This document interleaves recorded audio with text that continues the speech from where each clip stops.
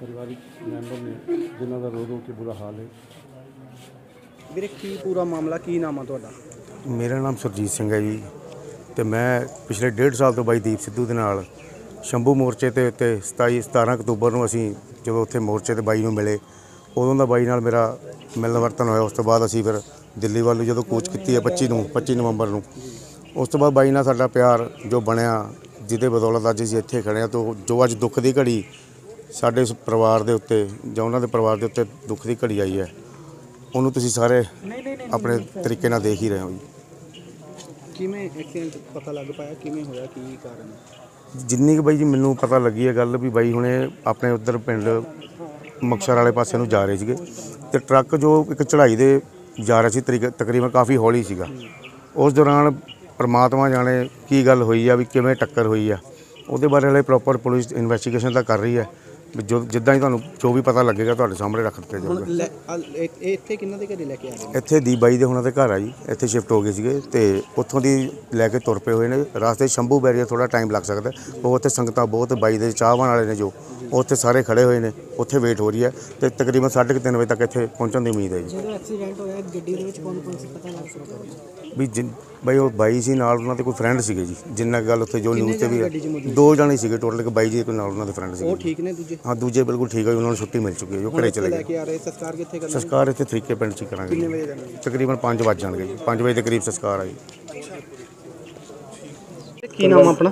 ਜੀ ਮੇਰਾ ਨਾਮ ਅਮੋਲਕ ਰਤਨ ਸਿੰਘ ਹੈ ਜੀ। ਤੁਸੀਂ ਕੀ ਲੱਗਦੇ ਉਹਨਾਂ ਦੇ? ਮੈਂ ਦੀਪ ਬਾਈ ਦਾ ਕਜ਼ਨ ਸੀ ਮਾਸੀ ਦਾ ਬੇਟਾ ਹਾਂ।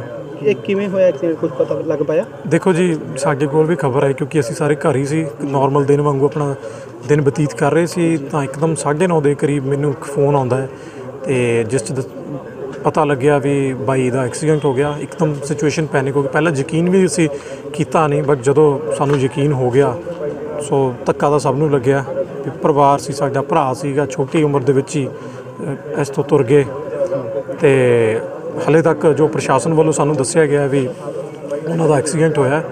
ਸੋ ਅਸੀਂ ਜਾਂਚ ਦੀ ਜ਼ਰੂਰ ਇੱਕ ਵਾਰ ਮੰਗ ਕਰਨੀ ਚਾਹਾਂਗੇ ਕਿਉਂਕਿ तमाम ਗਵਾਹਾਂ ਨੇ ਉੱਥੇ ਕਿਹਾ ਹੈ ਕਿ ਵੀ ਵੀ ਕਿਤੇ ਨਾ ਕਿਤੇ ਸਾਜ਼ਿਸ਼ ਦਾ ਹਿੱਸਾ ਹੋ ਸਕਦਾ ਹੈ। ਗੱਡੀ ਖੁਦ ਚਲਾ ਰਹੇ ਸੀ ਹਾਂਜੀ ਬਾਈ ਗੱਡੀ ਖੁਦ ਚਲਾ ਰਹੇ ਸੀ। ਉਹ ਦੋ ਜਾ ਦੋ ਜਾਣੇ ਸੀ ਉਸ ਵਕਤ। ਅੱਛਾ। ਜੀ।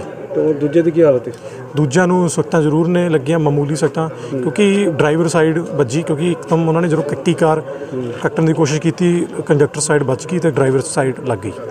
ਹੁਣ ਉਹਨਾਂ ਦੀ ਡੈੱਡ ਬੋਡੀ ਇੱਥੇ ਆ ਰਹੀ ਹੈ ਕਿਸ ਸਮੇਂ ਆ ਰਹੀ ਹੈ ਤੇ ਕਿਦੋਂ ਰਹੇ ਕਿੱਥੇ ਕੀਤਾ ਜਾ ਰਿਹਾ? ਡੈਡ ਬੋਡੀ ਇੱਥੇ ਲੈ ਉੱਥੋਂ ਚੱਲ ਪਏ ਆ ਜੀ ਪੋਸਟਮਾਰਟਮ ਕਿੱਥੇ ਲੈ ਕੇ ਆ ਰਹੇ? ਇੱਥੇ ਲੁਧਿਆਣੇ ਆ ਲੈ ਕੇ ਆ ਰਹੇ ਆ ਜੀ ਉਹਨਾਂ ਦੇ ਘਰ ਤੇ ਤਰੀਕੇ ਵਿਖੇ 5 ਵਜੇ ਦੇ ਕਰੀਬ ਉਹਨਾਂ ਦਾ ਸੰਸਕਾਰ ਕੀਤਾ ਜਾਵੇਗਾ ਬੱਚੇ ਜਾਂ ਵਾਈਫ ਕੌਣ ਕੌਣ ਨੇ ਜੀ ਉਹ ਆ ਰਹੇ ਨੇ ਉਹ ਬੰਬੇ ਤੋਂ ਫਲਾਈ ਕਰ ਰਹੇ ਨੇ ਉਹ ਕੁਝ ਹੀ ਸਮੇਂ ਵਿੱਚ ਇੱਥੇ ਪਹੁੰਚ ਜਾਣਗੇ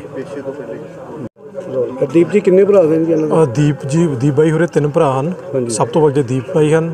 ਵਿਚਾਲੜੇ ਨਵਦੀਪ ਬਾਈ ਉਹ ਕੈਨੇਡਾ ਵਿਖੇ ਰਹਿੰਦੇ ਨੇ ਤੇ ਤੀਸਰੇ ਮਨਦੀਪ ਸਿੱਧੂ ਉਹ ਬਾਈ ਉਹ ਇੱਥੇ ਵਕੀਲ ਨੇ। ਇਸ ਕੋਠੀ ਵਿੱਚ ਕੌਣ ਕੌਣ ਰਹਿੰਦੇ ਪਰਿਵਾਰ ਇੱਥੇ ਸਾਰਾ ਪਰਿਵਾਰ ਹੀ ਰਹਿੰਦਾ ਜੀ। ਜਦੋਂ ਦੀਪ ਬਾਈ ਆਉਂਦੇ ਹਾਂਜੀ ਦੀਪ ਬਾਈ ਆਉਂਦੇ ਇੱਥੇ ਹੀ ਰਹਿੰਦੇ ਨੇ। ਤੇ ਸਾਡੇ ਮਾਸੀ ਜੀ ਰਹਿੰਦੇ ਨੇ ਦੀਪ ਬਾਈ ਦੇ ਮਦਰ ਉਹਨਾਂ ਦੇ ਬ੍ਰਦਰ ਛੋਟੇ ਬ੍ਰਦਰ ਮਨਦੀਪ ਸਿੱਧੂ ਤੇ ਉਹਨਾਂ ਦੇ ਬੱਚੇ ਤੇ ਵਾਈਫ